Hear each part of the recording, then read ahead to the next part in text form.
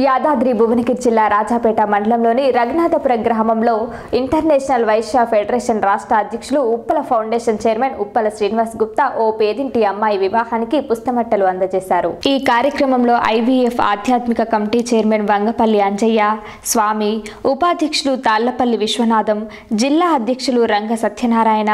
ప్రధాన కార్యదర్శి బెదిగే నవీన్ కుమార్ కోశాధికారి పతంగి చంద్రశేఖర్ రాజాపేట మండల జర్నలిస్టుల ఫోరం అధ్యక్షులు ఉప్పల రమేష్ రఘునాథపురం ఎంపీటీసీ బూడిగె రేణుకా పెంటయ్య ఆర్యవేశ నాయకులు ఉప్పల సిద్ధిలింగం బిజ్జాల విశ్వనాథం బిజ్జాల రమేష్ బిజ్జాల వెంకటలింగం ఉప్పల నరసింహులు నాగరాజు గంధ శంకర్ చాట్లపల్లి శ్రీధర్ ఇమ్మడి శ్రీనివాస్ బెజగం ఆత్మలింగం నవీన్ రవీందర్ తదితరులు పాల్గొన్నారు.